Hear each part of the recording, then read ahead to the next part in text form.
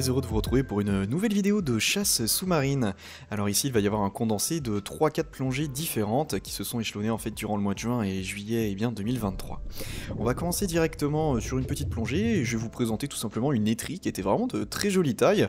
Voilà, elle est, elle est vraiment balèze pour le coup, j'avoue que je ne les ramasse pas en apnée parce qu'il faudra en ramasser beaucoup avant de pouvoir euh, eh bien, réaliser euh, une soupe. Donc je les laisse tranquilles mais j'aime bien vous les montrer.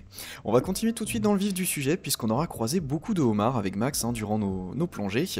Et en fait, on débutait euh, la chasse au homard, donc on savait pas trop comment faire au début. On avait juste entendu dire qu'il fallait eh bien, euh, mettre les flèches des fusils euh, dans le trou pour pouvoir les, déloger. donc c'est ce qu'on a commencé à faire, mais vous allez me dire, pourquoi tu n'as pas enlevé la flèche de ton fusil? Et eh bah tout simplement c'est une grave erreur déjà en termes de prudence, en termes de sécurité, parce qu'au final on plongeait à tour de rôle, mais c'est vrai que mettre la flèche chargée sur son harpon avec certes la sécurité activée, c'est quand même pas très prudent euh, pour son, enfin, la sécurité du collègue. Donc on aurait dû tirer nos flèches sur ce premier homard, euh, les enlever en fait de notre, de notre fusil, en plus ça aurait été beaucoup plus simple pour venir le déloger, on aurait pu enfoncer la flèche beaucoup plus profondément dans la faille. Euh, donc on l'a pas mal travaillé au corps et on commence à se dire que c'est compliqué. à droite? Là il s'est enfoncé, va falloir attendre. Mais au final, avec un petit peu de patience et beaucoup de persévérance, au bout de 20 minutes, on a réussi à, déloger ce joli crustacé qui s'est posé bien sur un banc de sable, comme tu peux le voir, il est super visible. Après là pour l'instant c'est une petite tache noire. Et du coup Max va aller le chercher, doit y avoir à peine 4,50 m de profondeur, il va tendre sa main, mais malheureusement le homard va donner un coup de queue. Et du coup euh, notre sortie s'est soldée sur un bel échec. Allez, on passe à la deuxième journée.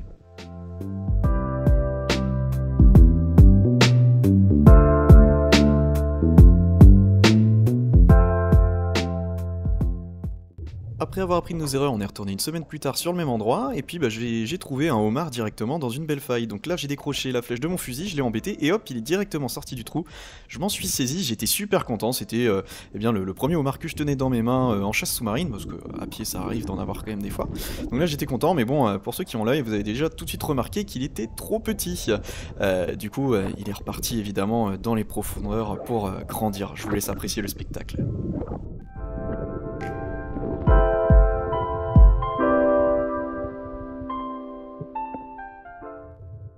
Quand on débute la chasse sous-marine, parfois c'est compliqué de faire des actions euh, de grande classe, on va dire. C'est vrai que tirer les vieilles, c'est pas forcément la grande classe, on préfère tirer des lieux jaunes ou des barres. Mais bon, là je m'étais dit que la vieille était plutôt jolie, je la tire de très très loin avec euh, mon beuchat euh, espadon. Et je pensais l'avoir raté. Au final, non, non, j'avais bien touché le petit labre, mais elle était très mal tirée par le dos. Du coup, je m'en suis saisi rapidement afin d'éviter qu'elle ne se détache de la flèche. Et en fait, en la prenant, je me rends compte que déjà de 1, elle est mal piquée. En plus, elle est beaucoup trop petite. du coup, je me dis, bah, il faut que je l'achève le plus rapidement possible afin de, la faire le, moins souffrir possible. Et là, il va m'arriver une dinguerie. Je vous laisse regarder, j'ai vraiment honte. Voilà, voilà. Je pense que ça va se passer de commentaires. Ça, on va éviter que ça m'arrive à nouveau. Troisième jour de chasse, on part sur euh, une journée idéale avec un coef 92. Euh, comme vous pouvez le voir, grand soleil, eau turquoise, c'est franchement incroyable. Belle visibilité malgré beaucoup de débris dans l'eau. Euh, on va trouver beaucoup, beaucoup, beaucoup, beaucoup, beaucoup de homards, mais tous très difficiles à sortir sur cette session. Et ils font pas tous forcément la taille. Donc là, j'en ai trouvé un. Je commence à insérer ma flèche sur la droite du trou pour le faire sortir par la gauche. Vous allez l'apercevoir, l'action est très furtive. Il sort sa queue. Je pensais qu'il allait reculer directement. Au final, j'ai buté avec mon gant contre le caillou. Donc malheureusement, euh, j'ai raté ce homard qui ne semblait pas d'ailleurs faire la taille. Et alors que je remonte, belle surprise. Et voilà, on a Max qui revient avec ce super beau homard, il est magnifique. Bien joué mec. Moi j'ai vu que des petits pour l'instant. Que des petits. Ah c'est top. J'allais le mesurer. Ouais, il y a le, le petit à coulisses dans la bouée si tu veux. Sur cette session, j'ai mis du temps à comprendre que tous les poissons se cachaient bien dans les rochers. Regardez, on voit tout de suite le petit museau de la petite vieille là caché. Je commence à l'aligner et au final, je vais me raviser parce que je ne la vois pas entièrement et je me dis que elle est peut-être trop petite. J'ai été échaudé déjà par mon échec, hein, euh, rappelez-vous de la deuxième journée. Euh, je vais continuer mes explorations et là, je tombe sur eh bien, la faille à vieille, comme je l'appelle. Vraiment, il y a des vieilles, mais dans tous les sens. Vous en voyez que 4 ou 5, je crois, sur cette vidéo, mais il y en avait mais partout.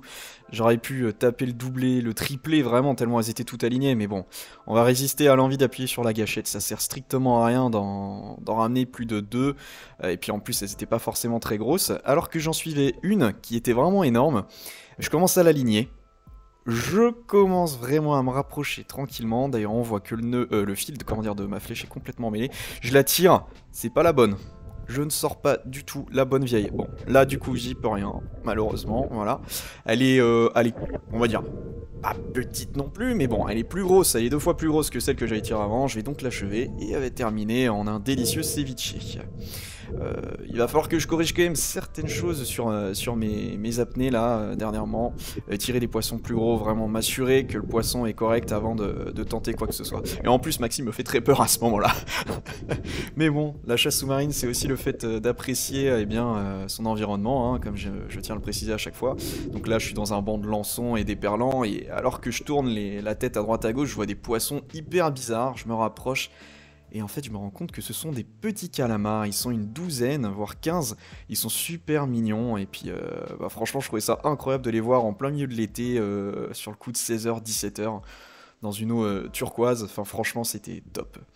En tout cas, si cette vidéo euh, t'a plu, n'hésite pas à liker, à t'abonner. Si tu es beaucoup plus expérimenté que moi en chasse sous-marine, n'hésite pas à laisser un commentaire bienveillant, car c'est grâce aux commentaires que je reçois sous mes vidéos que, je m'améliore, notamment pour euh, les techniques euh, de homard, etc. Donc n'hésitez pas à me dire ce qu'il faut corriger, toujours en étant bienveillant, etc. Et puis, bah écoutez, vous pouvez également me, suivre sur TikTok où je mets des petites vidéos de mes péripéties du jour.